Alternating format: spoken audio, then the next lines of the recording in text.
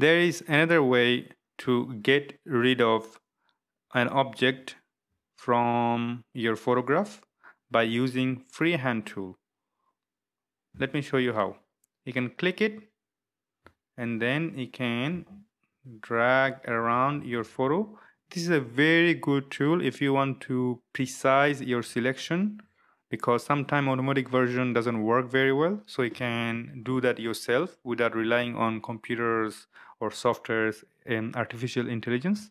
So now that you have done it you can do many things you want. For option number one you can easily get rid of that by clicking Inpaint. That is option number one. Option number two you can do the other creative things such as you can bring it back first. You can copy then you can paste by control V.